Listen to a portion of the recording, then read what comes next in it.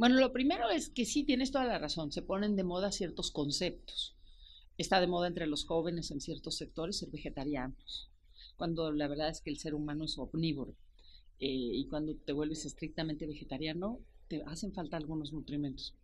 Se ha puesto de moda también en algunos sectores satanizar a la leche y a los productos lácteos como si fueran nuestros grandes enemigos, cuando la verdad es que la leche es una fuente de proteínas y de calcio muy importante. Eh, y tiene un papel en la dieta. Se ha puesto de moda también, mm, no sé acá, pero en la Ciudad de México, comer alimentos que no pertenecen a nuestra cultura, como la quinoa y el té verde y ciertas cosas que tal vez, pues sí, sí son muy saludables, pero son como completamente ajenos a nosotros.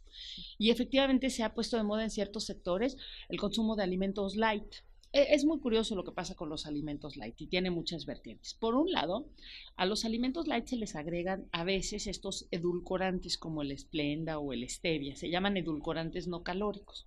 Son aditivos permitidos y se han evaluado muchísimo. No son dañinos.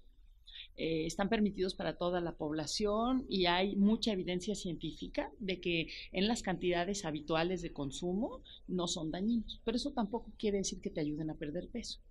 Los alimentos light eh, o los alimentos con edulcorantes no calóricos solo te ayudan a, perder de peso, a perder peso cuando se insertan en una dieta correcta. Y a veces tendemos a compensar. A veces tendemos a decir, como me lo voy a tomar light, me lo voy a tomar grandote, o como me tomé tal cosa light, entonces me voy a comer el triple de la otra. Entonces, en general, solamente funcionan como para perder peso cuando se insertan en una dieta correcta. Eh, otra cosa es que la gente dice que un alimento, un edulcorante u otro son más saludables o más seguros y la verdad es que hay seis edulcorantes, eh, uno es aspartame, otro es acesulfame de potasio, otros son los derivados de la planta de stevia, otro es la sucralosa, que es el sobrecito amarillo, otros son la sacarina, que es el sobrecito rosita, y otros son los ciclamatos. y dependiendo eh, la concentración de uso, todos son permitidos. Es nada más que tienen un saborcito diferente y se, usan se aplican de manera distinta. Eh, de hecho, se ha visto que las personas que consumen edulcorantes normalmente tienen dietas más saludables, como que son personas más conscientes. Ahora, si hay una legislación para decirnos qué es un producto light, eh, en, en, la legislación no dice light, dice reducido en es la norma oficial mexicana 086 y lo que dice es que un producto reducido en tiene que tener 25% menos que el original. Y ahí está el truco. Si yo hago un pastel de zanahoria que tiene como 500 kilocalorías y luego le cambio el azúcar por un edulcorante o el queso crema por un queso crema bajo en grasa, me va a resultar un pastel de zanahoria con 25% menos de calorías y yo lo voy a vender como reducido en calorías. Y tal vez habrá quien piense que entonces ahora ya es gratis o que me puedo comer un pedazote y es 25%. Y además puede ser reducido en calorías o reducido en azúcar o reducido en sodio o reducido en grasa.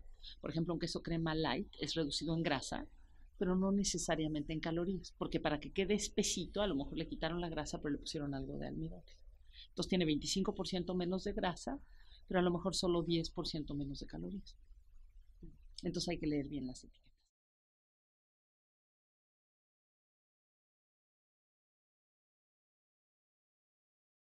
Miren, primero decirle a los jóvenes que, que, se cuiden. Cuando uno es joven, uno tiene un cuerpo, un cuerpo que resiste todo, pero el cuerpo tiene memoria y va guardándote la cuenta. Y cuando tienes una enfermedad cuando eres más grande, esa cuenta ya la traías avanzada. Entonces hay que cuidarse desde joven. Yo siento que en preparatoria, entre preparatoria y la universidad, los jóvenes se desprenden de los hábitos de su casa y adquieren unos nuevos hábitos y a veces esos nuevos hábitos no son los mejores. Eh, entonces toman un montón de alcohol, pero no comen para compensar lo que tomaron, o no desayunan, pero luego se compran unas papas con un montón de chilito, eh, cosas así donde los hábitos son el problema. Y la otra, decirles pues que sí, que aprendan a hacer platillos completos. Es, es bastante fácil hacer un platillo completo. Hay que pensar primero en una verdura o fruta. Vamos a decir que de desayuno escojo durazno. Y entonces pienso, durazno que es del grupo de las verduras o frutas. Y luego lo complemento con un producto del grupo de los cereales o tubérculos. No son cereales de cajita, sino pan, pero avena, pero... Entonces a lo mejor digo, quiero durazno y avena y luego complementarlo con un producto de origen animal. Entonces, durazno, avena y leche. Y ya tengo un desayuno completo. O si lo quieres hacer más loco, durazno, tortillas, queso panela y hago unas quesadillas de queso con durazno que además son riquísimas. A mediodía pues son dos, dos y dos. En el grupo de los productos de origen animal, uno también puede escoger una leguminosa. Las leguminosas y los productos de origen animal, los dos tienen muchas proteínas.